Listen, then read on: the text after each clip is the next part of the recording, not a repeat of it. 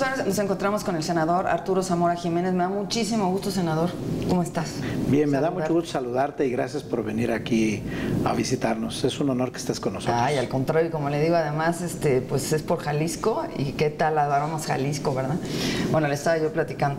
Hoy es secretario de organización del CENDEL-PRI, Sí. pero tiene un currículum que yo realmente respeto profundamente porque sí lo quiero decir, no soy de mucho cebollazo, pero hoy creo que se vale.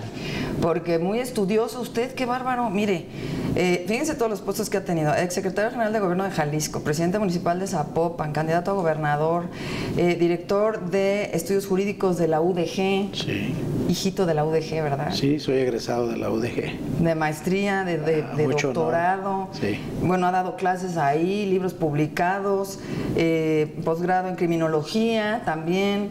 Este, bueno, decíamos ya los cursos. El curso este de toxicología forense. Sí, toxicología forense, medicina forense, un montón de cosas que estudié en su, en su momento que son cosas que se te quedan. Psiquiatría forense también. ¿Qué o sea, tal, bastantes cosas que tenían que ver con el ámbito del desempeño en ese tiempo que tuve oportunidad de realizar.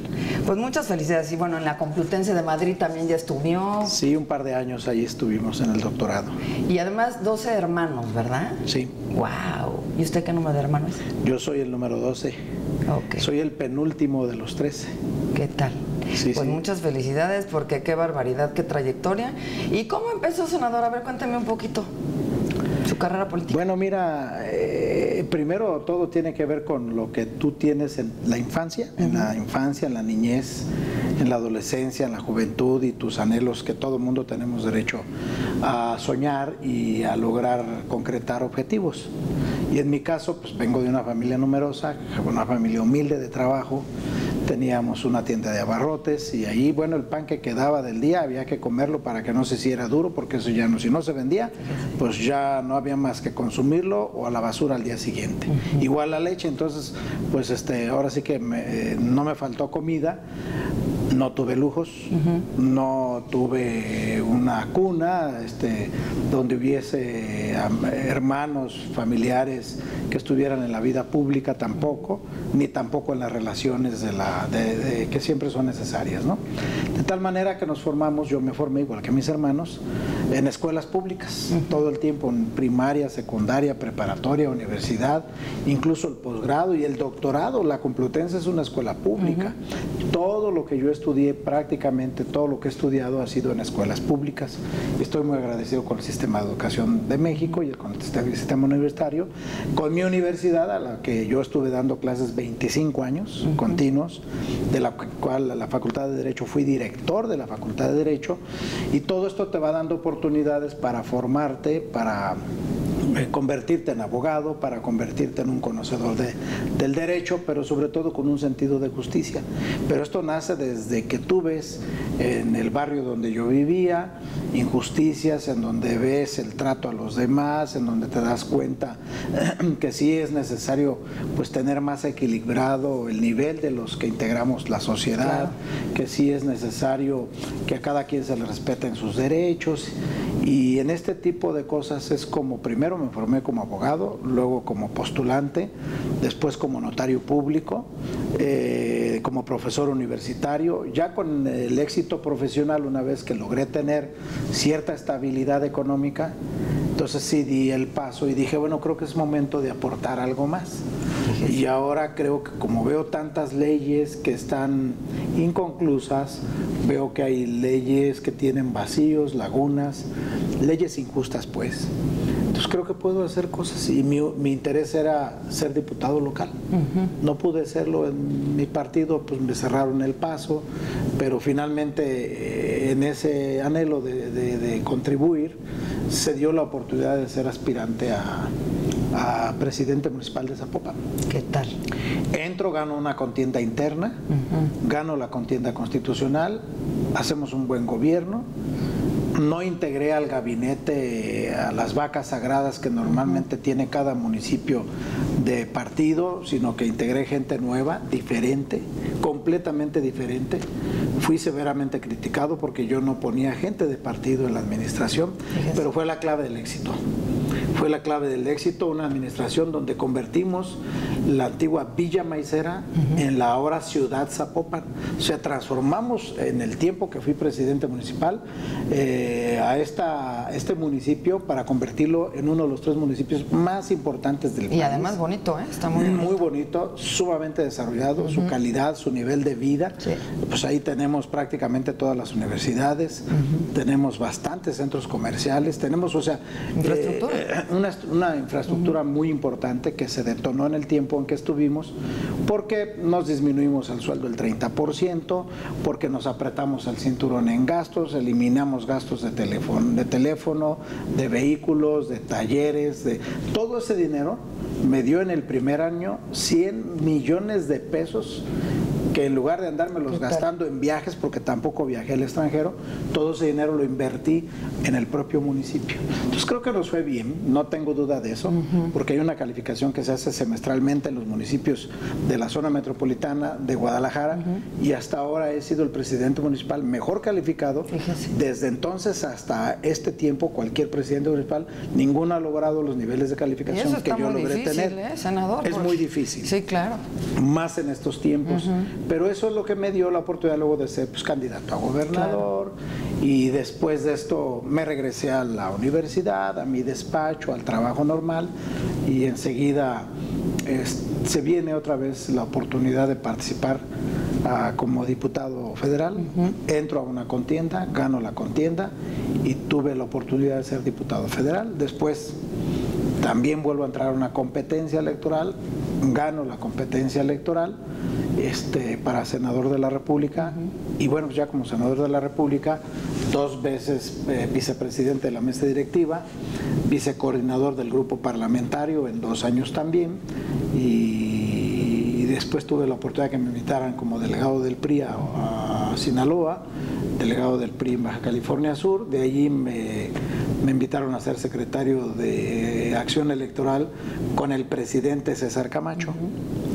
Luego también con el presidente Mario Fabio Beltrones y a la llegada del presidente, del doctor Enrique Ochoa, eh, me invita a ser secretario de organización del PRI Nacional, lo cual pues te, te dice que es bastante trabajo de conocimiento de estatutos, de las reglas del juego internas de nuestro partido, de un conocimiento profundo de las leyes electorales de nuestro país, un conocimiento también en materia de delitos electorales, que por cierto publiqué, he publicado dos libros sobre esta materia de delitos electorales, y- y todo esto, pues la facilidad de conocer el derecho y de interpretar el derecho, pues me ha dado la oportunidad de estar en los lugares donde he podido tomar decisiones siempre en beneficio de los demás. Esa es la, es Y luego, sí, francamente, como ciudadano común, la verdad es que sí siento que les da un- una, una cosa moral mucho más distinguida cuando vienes de abajo, ¿no? Cuando vienes de la cultura del esfuerzo, porque la verdad es que es muy admirable todo lo que ha hecho.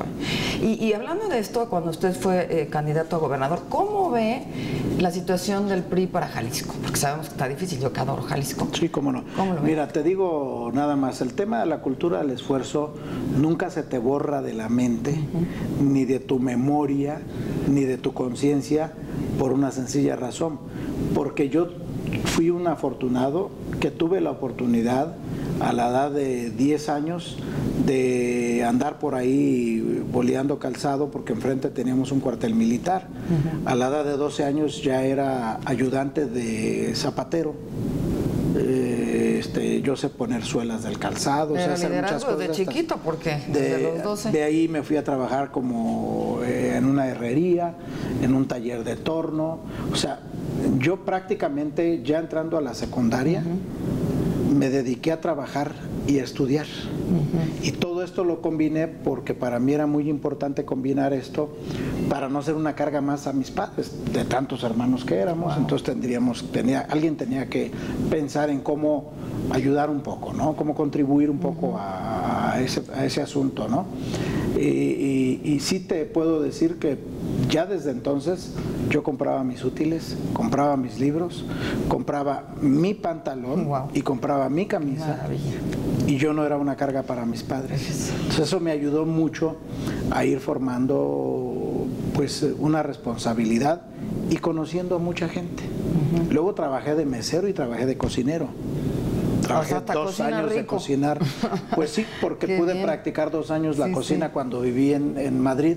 Allá no puedo, yo fui este, a, estudiar becado. Yo caminaba para ahorrarme los, las pesetas que eran del transporte público y ahorraba eso para comprar libros. Entonces, este, tú te tienes que cocinar, tú tienes que hacer tu habitación, tú tienes que lavarte, tienes que planchar tus cosas. Todo esto, por supuesto, que te da formación, te da disciplina, te da orden, te da carácter y te enseñas a ser autorresponsable y, y, también a ser responsable de lo que te asigne eh, la circunstancia que vayas viviendo. Regresando al tema que me planteas, bueno, queda claro que en todo el país va a haber procesos electorales en el 2018. En nueve entidades federativas habrá elección para gobernador también en el 2018. Esto es, habrá elección para 300 diputados federales, habrá elección para este 96 senadores que resultarán así electos por vía directa e indirecta y habrá elección en nueve entidades federativas. Pero prácticamente en todas habrá elecciones para diputados o presidentes municipales. Y una de ellas, por supuesto, es el estado de Jalisco. Entonces, en el estado de Jalisco, del cual yo soy originario, también habrá un proceso electoral. El proceso electoral del estado de Jalisco significa que los partidos políticos seguramente ya están preparando sus estrategias, estarán preparando las mejores condiciones para competir, porque en el caso nuestro se va a competir para gobernador, senadores, diputados federales, diputados locales, presidentes municipales, síndicos y regidores. O sea, va a haber una renovación de más de 3.500 cargos de elección. De tal manera que en este sentido, pues yo veo que allá en mi tierra, eh, el propio comité directivo estatal eh, y los liderazgos políticos de mi tierra, pues están preparándose para una contienda que seguramente se dará, eso esperamos, en muy buenas condiciones. para que el actual gobernador cierre muy bien, ¿no, Aristóteles? Sí, claro, está haciendo un buen papel, está haciendo una gran labor y, bueno, pues falta eh, que esta labor la traslade a su partido, que es el partido al cual pertenece.